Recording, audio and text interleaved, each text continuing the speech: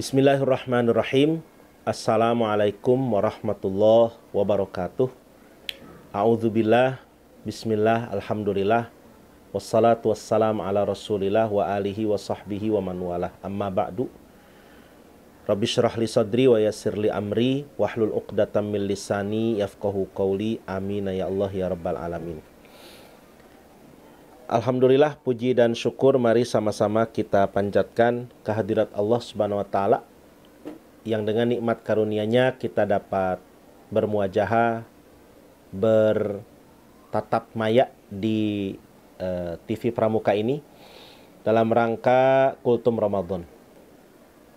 Pertama, perkenalkan nama saya adalah Auladi Rahman, Ketua Majelis Tarbiyah atau bagian Divisi Pendidikan di Yayasan Islamic Center Al-Ghazali, Kota Bogor. Pada kesempatan kultum hari ini, izinkan saya menyampaikan satu tema tentang amaliyah di 10 hari terakhir Ramadan. Pemirsa TV Pramuka yang dirahmati Allah, kita tahu bahwa Ramadan kita sudah lalui setengahnya, dan setengahnya lagi atau kurang dari setengahnya lagi kita juga akan menyelesaikannya. Para ulama menyebut bahwa Ramadan nisfuhu zahaba. Ramadan setengahnya sudah pergi. Wa nisfuhu zahabun dan setengahnya lagi adalah emas. Maka dari itu manfaatkan oleh kita semua sisa akhir dari Ramadan yang sedang kita jalani ini dengan sebaik-baiknya. Dengan seapik mungkin, dengan semangat dan istiqomah Mengapa demikian? Karena kita tidak tahu Ramadan tahun depan bisa berjumpa lagi atau tidak. Sangat boleh jadi ya kita berharap tentu saja panjang umur untuk taat ibadah. Tetapi umur tidak ada yang tahu. Maka pastikan Ramadan tahun ini jadikan sebagai Ramadan yang terbaik dalam hidup kita. Di dalam kitab Fathul Mu'in, Syekh atau Imam Zainuddin bin Abdul Aziz Al-Malibari, kemudian disyarahkan juga di dalam kitab I'anatul Talibin, di juz 2 setidaknya ada tiga amalan yang bisa kita lakukan untuk uh, apa mengisi 10 hari terakhir Ramadan ini. Yaitu yang pertama kita lakukan yang namanya qiraatul Quran membaca Al-Quran. Sebagai muslim yang baik sudah barang tentu Al-Quran bukan hanya sekedar dipajang saja mushaf Quran bukan hanya sekedar disimpan sebagai koleksi, tetapi selayaknya bagi kita untuk membaca dan juga menghayati, mentadaburi maknanya, tafsirnya juga kita bahas, kita kaji, dan tentu saja kita amalkan dalam kehidupan sehari-hari. Jadi, kalaulah kemarin-kemarin di awal Ramadan barangkali masih banyak kesibukan, pastikan di akhir Ramadan ini, terlebih nanti mungkin sudah masuk libur sekolah, pastikan kita bisa mengisi hari-hari kita dengan membaca Al-Quran. Setidaknya uh, beberapa ayat. Syukur-syukur bisa one day one juz. Ya kalau idealnya sih sekarang sudah hari ke-17 bagusnya sudah masuk juz 17. Tapi bila memang banyak kesibukan dan memang sulit setidaknya ada dari Al-Quran yang kita baca. Karena kita ingin Al-Quran kita ini menjadi atau memiliki bekas bagi kita di bulan Ramadan. Jangan sampai Ramadan sekali lagi berlalu begitu saja, tidak pernah kita membaca Al-Quran sama sekali. Dan 10 hari terakhir, gencarkan itu. Karena pahalanya sangat besar dan tentu kita untuk meraih Lailatul Qadar. Kemudian yang kedua adalah sodakoh.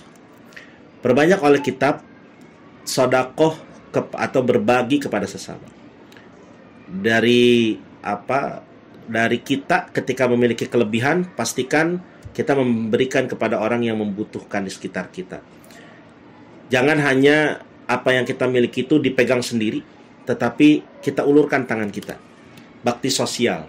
Karena kata Nabi khairun nas anfa'uhum linnas. Sebaik-baik manusia adalah yang paling bermanfaat untuk manusia yang lain.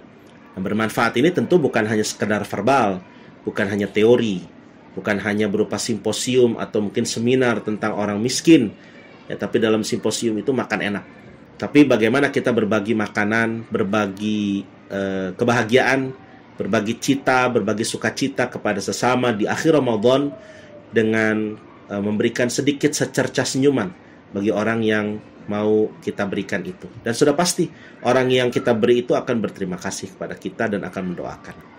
Di sinilah pentingnya kita sodakoh dan mencetak diri untuk menjadi orang yang insan yang dermawan.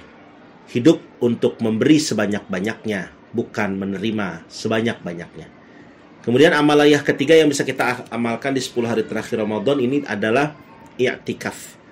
I'tikaf ini artinya berdiam diri di masjid ya masjid jami yang dipakai untuk sholat Jumat kita berdiam diri di malam hari sampai dengan subuh sebisa mungkin seperti itu tapi bila mana memang karena satu dan lain hal umpama setidaknya setiap kali datang ke masjid pastikan kita niat itikaf nawaitu an a'takifa fi hadzal masjid madum tufi saya niat itikaf di masjid ini selagi saya berada di dalam masjid itu penting agar jangan hanya datang ke masjid tidak dapat pahala apa-apa.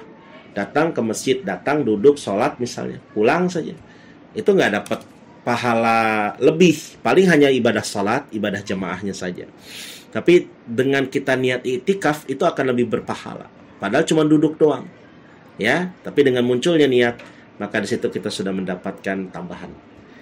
Nah, itu tiga itu para pemirsa TV Pramuka bisa menjadi cara kita untuk menjaring Lailatul Qadar di 10 hari terakhir. Yang kalau seseorang mendapatkan Lailatul Qadar, maka dia seperti beribadah sekitar 1000 bulan. Yang kalau dikonversikan ke tahun sekitar 83 tahun 4 bulan. Sangat disayangkanlah bila mana Ramadan berlalu kita tidak bisa meraih Lailatul Qadar, kita tidak mengisi 10 hari terakhir ini yang penuh dengan emas, penuh dengan kemuliaan untuk beramal soleh sebanyak-banyaknya. Sekali lagi, pastikan kita menjadikan Ramadan tahun ini sebagai Ramadan terbaik dalam hidup kita karena kita tidak pernah tahu bisa berjumpa kembali atau tidak dengan Ramadan tahun yang akan datang. Mudah-mudahan Allah Subhanahu wa taala memberikan hidayah dan taufiknya kepada kita semua untuk bisa menjadi insan-insan yang lebih baik untuk bisa keluar dari Ramadan menjadi orang yang lebih baik lagi daripada sebelumnya dan orang yang mendapatkan Lailatul Qadar tanda-tandanya dia hidupnya lebih berkah setelah Ramadan nanti dan dia senantiasa dalam kesalehan pribadi juga dalam kesalehan sosial. Demikian kiranya yang bisa saya sampaikan sedikit tapi mudah-mudahan ada manfaatnya untuk saya pribadi dan juga untuk pemirsa TV Pramuka di mana pun berada. Wallahul muwaffiq ila aqwamit tariq wa bihi al hidayah wal irsyad wat taufiq wal afu minkum. Wassalamualaikum warahmatullahi wabarakatuh.